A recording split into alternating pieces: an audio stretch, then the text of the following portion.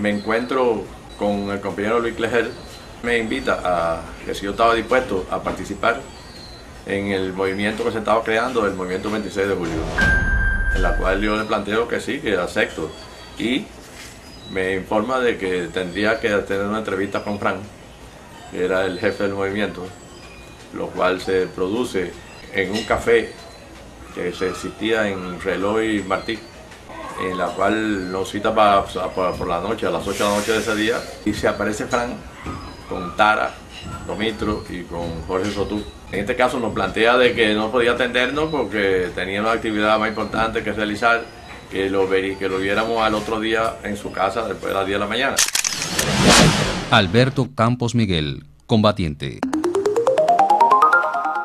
Al llegar, Frank se sentó en la sala con nosotros y la primera cosa que nos pregunta es de qué lugar estábamos estudiando nosotros. Yo digo que en oficio, el tío mío le dice que en el instituto. Nos preguntó por algunos líderes que nosotros opinábamos. Parece que para evaluar la madurez de nosotros, ¿no? Entonces, en un caso de un líder, yo le digo que no, te, no lo veía con que era de frío y que eso no era correcto. Y cuestión que él aceptó, vaya, y parece que vio la maduración de nosotros políticamente, ¿no? Que no solamente éramos dos muchachos, porque la posibilidad existía de que nos viera joven y no nos mandara para células de acción, que nos mandara para la brigada estudiantil que en aquel momento se estaban formando también, que eran los muchachos que iban a salir a la calle, a los actos públicos. Me empezó a explicar cómo iba a ser la lucha, que la lucha iba a ser hacer salir a los guardias del cuartel, porque en el cuartel los guardias eh, tenían la fortaleza, pero en la calle ellos tenían menos fuerza.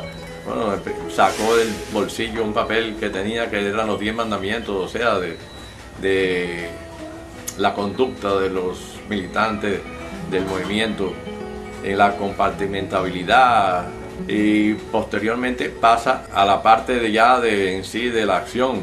Empieza a decirnos el interés que él tenía de que la juventud de esta generación no se convirtiera en lo que ocurrió en la juventud de la, de la generación del 30, de la lucha contra el machadato, que muchos revolucionarios se convirtieron en, en otros en dirigentes políticos eh, corrompidos, y explicándonos que él tenía sumo interés en que le explicaba a los jefes de célula que cuando se fuera a mandar a, a un compañero a, hacer, a realizar algún trabajo, ese compañero tenía que ir claro de lo que se iba a hacer y convencido de lo que se iba a hacer, la necesidad de por qué se hacía. O sea, la diferencia entre un revolucionario y un asesino. Decía que el revolucionario mata por, por convicción, que, que no se le tira al hombre, que se le tiraba al uniforme, a lo que él representaba. ¿no? Alberto Campos Miguel, combatiente.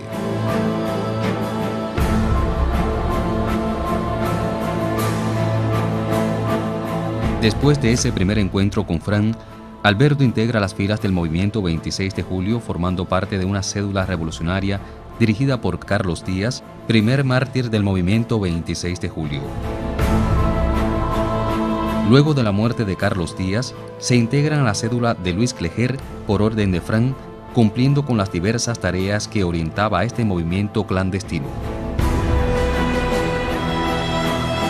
Hoy, Alberto Campos Miguel es un hombre comprometido con el proceso histórico que le tocó vivir y no repara un instante en compartir sus vivencias como cada gente de mi Santiago.